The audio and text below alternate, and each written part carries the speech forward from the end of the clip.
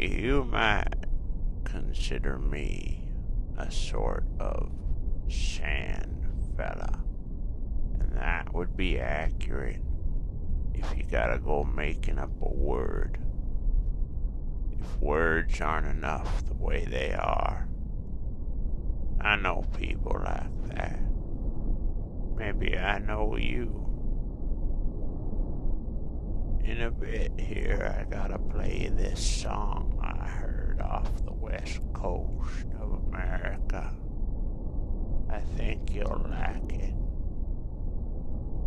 And maybe it's a fine, clear, uncomplicated thing to watch a black and white dog chasing rocks in the morning, its tail going like a fire hose. Came up against Brick the other day. You know those days. Days to escape to the sea. Brunettes usually look in the proper direction. Follow their gaze.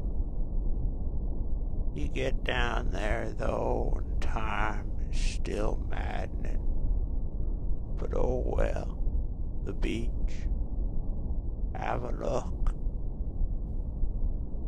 It's okay to be suicide sad once in a while, as it keeps you on your toes for impending happiness.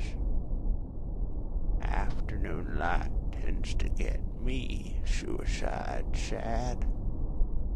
Often at such pill and rope and razor desiring times.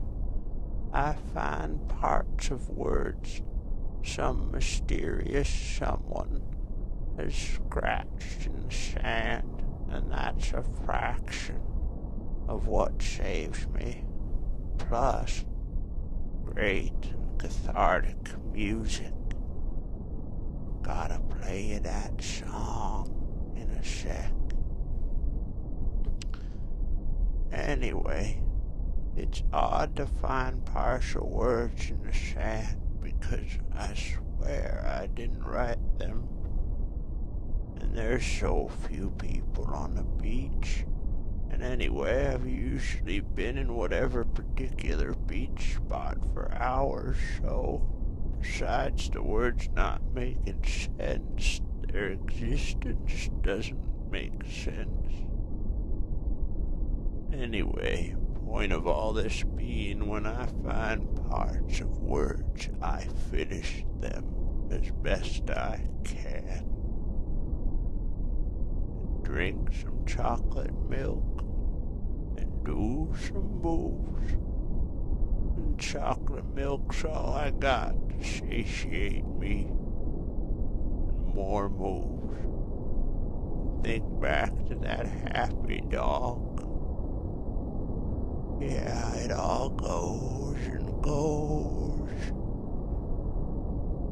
It's okay if you and I feel a wee melancholy in our moment together, isn't it? I'm gonna play that song now from off of the west coast of America, 'cause it makes me feel better, and I hope it'll make feel better too. Remember me as your favorite sand fella. Go on backward now. And when you get to the beginning, run them roads.